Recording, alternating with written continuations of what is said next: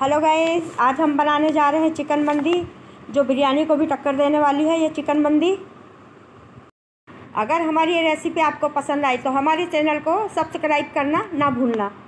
चलिए अब हम चिकन मंदी बनाना शुरू करते हैं। सबसे पहले हमने चिकन अच्छे से धो के ले लिया है। इसमें हम सभी चिकन में कट लगा लेंगे। और ये चार बड़े बड़े पीस लिए हमने चिकन के। अब देखिए, सभी चिकन में हमने अच्छे से कट लगा लिया है। अब इसके लिए हम एक मसाला बना के तैयार कर लेंगे। इसके लिए हमने दो चम्मच ये खड़ा धनिया ले लिया है, एक चम्मच ज़ीरा लिया है और एक चम्मच इसमें हम सौंप डालेंगे। अब ये तीन चार कलमी है, इसको ले लिए हमने। ये काली मिर्च है एक चम्मच और ये जायपत्री है। दो तीन हमने जायपत्री लिया है, ये एक जायफल है और ये दो बड़ा इलायचा है। और ये तीन चार इलायची है, छोटी इलायची। और ये लौंग है, पाँच छः लौंग ले लिए हमने। अब इनको हम पीस लेंगे। इसका एक पाउडर बना के तैयार कर लेंगे। देखिए, हमने इसका एक पाउडर बना के तैयार कर लिया है। अब इसको हमने एक प्लेट में निकाल लिए हैं इस पाउडर को। और आधा में हमने कटोरी में निकाल के रख लिया है। बाद में इसमें हम चावल में डालेंगे। अब इस मसाले में हम तीन चम्मच मिर्च पाउडर मिलाएँगे, दो चम्मच इसमें हम नमक मिलाएँगे। और ये दो चम्मच इसमें हम अदरक लहसुन का पेस्ट डालेंगे। और एक नींबू का रस डाल देंगे। और आधा कटोरी है इसमें हम दही डालेंगे। और इसमें हम आधा कटोरी तेल डाल देंगे। अब ये थोड़े से पानी में हमने केसर डाल के रखा था, अब उसको हम डाल देंगे जिससे इसका कलर अच्छे से आ जाए और इसमें हम आधा चम्मच फ़ूड कलर डालेंगे और इन सबको हम अच्छे से मिक्स कर लेंगे। ये देखिए, अच्छे से ये मिक्स हो गया, अब इसको हम चिकन में अच्छे से लगा देंगे। हाथों से लगाएँगे ताकि मसाला अंदर अच्छे से चला जाए। फिर इसको हम दो तीन घंटे के लिए मैरिनेट करके रख देंगे। अब इसको हम मैरिनेट करके दो तीन घंटे के लिए रख देते हैं। अब देखिए, दो तीन घंटे हो गए अब इसको हम स्टीम करेंगे। एक गंज में हमने पानी लिया है, उसके ऊपर हम चलनी रख देंगे। जब पानी अच्छे से गर्म खोल जाएगा तो उसको चलनी के ऊपर हम चिकन को रख देंगे। और इसको कम से कम 20 मिनट तक हम ढक के रख देंगे, ताकि चिकन अंदर से थोड़ा अच्छे से सॉफ्ट हो जाए। अब देखिए दस पंद्रह मिनट हो गए हैं। चिकन भी अच्छे से सॉफ्ट हो गया है। देखिए, ये चिकन का पानी था, उसको हम फेंकेंगे नहीं, हम इसको हम चावल में डालेंगे।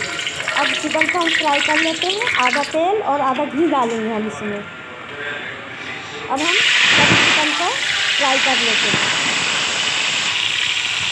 ये एक तरफ़ से अच्छे से फ्राई हो जाएगा तो इसको हम पलटा देंगे। अब देखो, हमारा चिकन भी अच्छे से फ्राई हो गया है। अब इसको हम एक प्लेट में निकाल लेते हैं। अब हम इसका चावल बना के तैयार कर लेते हैं। अभी वही तेल में हम थोड़े खड़े गरम मसाले डालेंगे। तेज़ पत्ता है, कलमी है, काली मिर्च है, लौंग है।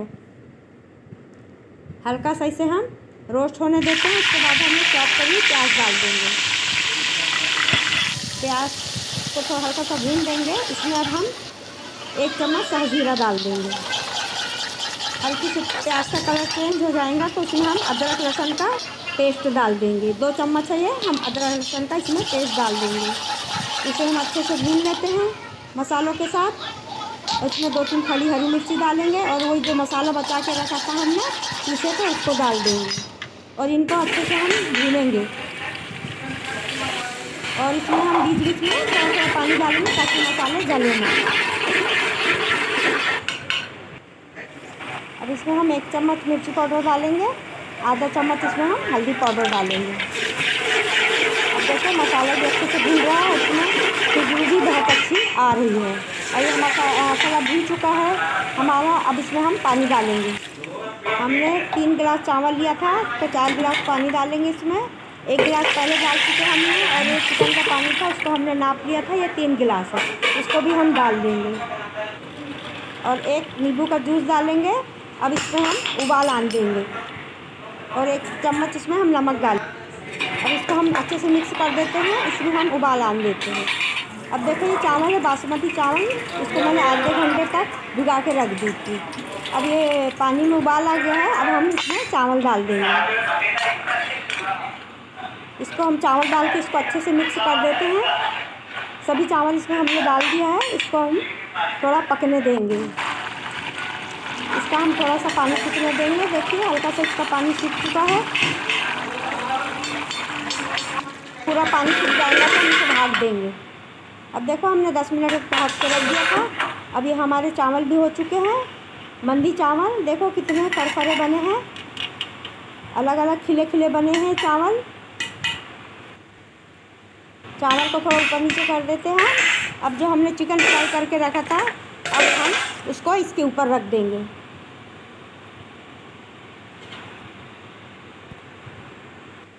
इसके ऊपर हम एक स्मोक फ्लेवर देंगे। इसमें हमने एक कटोरी बना के रखी, इसमें ये कोयले को डाले हैं।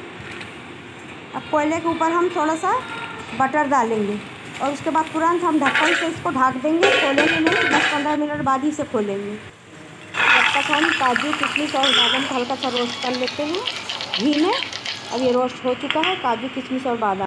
चिकन मंदी के साथ खाने के लिए हम एक चटनी बना के तैयार कर लेते हैं। इसमें हमने पाँच छः लहसुन की कली, दो तीन हरी मिर्ची और ये टमाटर है और ये धनिया पत्ती है और आधा चम्मच हम नमक डाल देंगे और ऊपर से हम एक नींबू का जूस डालेंगे और इसको हम पीस लेंगे। देखिए, चिकन मंदी के लिए चटनी बन के तैयार है।